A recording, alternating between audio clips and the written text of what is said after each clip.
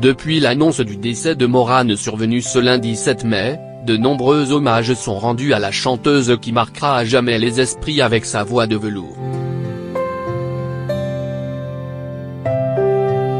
En Belgique, des décisions ont été prises pour saluer la mémoire de cet artiste originaire du plat pays.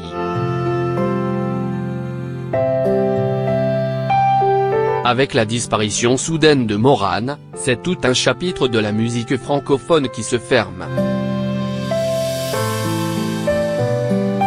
Ce lundi 7 mai, la chanteuse belge s'est éteinte à son domicile bruxellois à l'âge de 57 ans.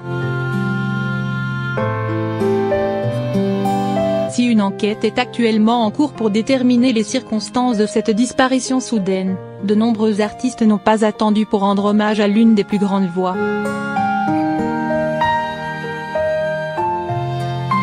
Depuis l'annonce de ce terrible drame, les témoignages se multiplient sur les réseaux sociaux.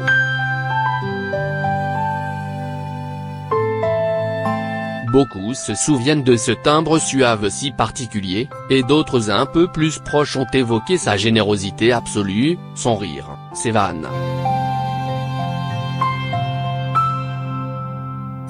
Toi qui vivais pour nous enchanter, toi qui faisais partie de ces rares artistes, plus grandes que la musique, a écrit cette nuit son ami Lara Fabian dans un long message poignant.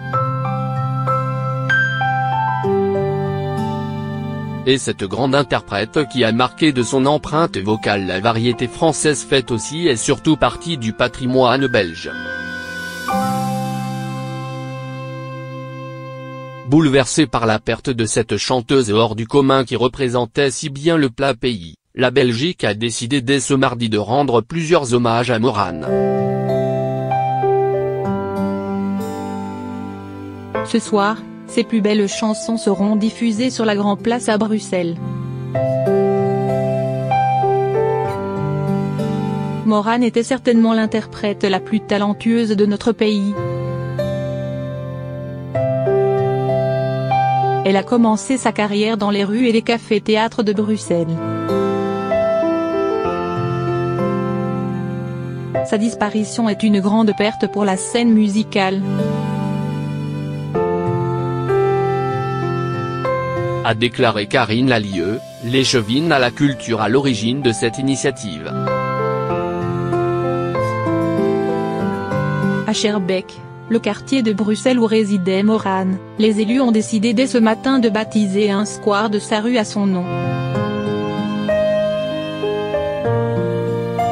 Un livre de condoléances a également été créé sur le site internet de la commune et une gerbe de fleurs sera envoyée à sa famille, dévastée par le chagrin. De belles attentions.